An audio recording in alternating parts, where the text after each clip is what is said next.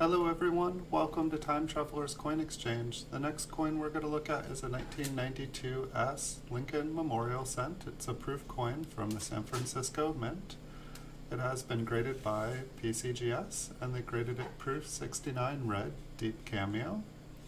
We'll take a look at the front and back.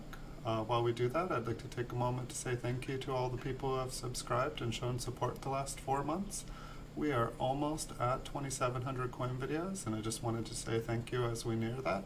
Couldn't have done this without you guys and your support. Um, if you guys haven't subscribed yet already, uh, feel free to. It's the best way to support the channel. In exchange, I'll make you guys thousands of coin videos. And if you guys uh, want to hit the like button too, you guys are always welcome to. Any support is greatly appreciated.